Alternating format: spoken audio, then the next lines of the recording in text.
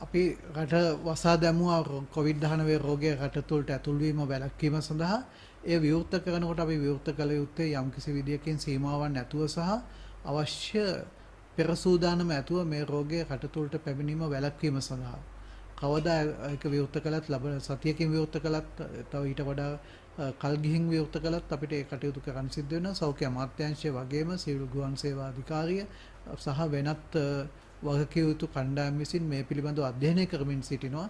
වඩාත් සුදුසු කොයි ආකාරයකටද අපේ ගුවන්පත නැත්තම් අපේ රට විවෘත කළ යුත්තේ සංචාරකයන්ට සහ විදේශිකයන්ට කියලා. එය අපි දන්නවා දැන් ශ්‍රී ලාංකිකයන් ලංකාවට පැමිණෙනවා. ඔවුන් අපි ගෙදර යන්න දෙන්නේ නැහැ. සියලුම දෙනා නිරෝධායනයට ලක් කරලා සුමාන දෙකක් ඉඳලා තමයි අපි ගෙදර යවන්නේ. අපිට එතන අත්දැකීම් තියෙනවා රෝගීන් වාර්තා වෙනවා.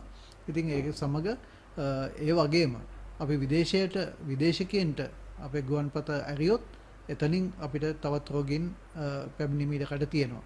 ඉතින් ඒ සඳහා අපි කොයි විදියටද අපේ දේශ සීමා විවෘත කළ යුත්තේ කියන එක පිළිබඳව මේ අවස්ථාවේදී අධ්‍යයනය කරමින් සහ සාකච්ඡා කරමින් පවතිනවා. රටේ සෞඛ්‍යයට හානියක් නොවන ආකාරයට ඒ විවෘත කර වේවි කියන පිළිබඳව අපිට විශ්වාසයක් තියෙනවා.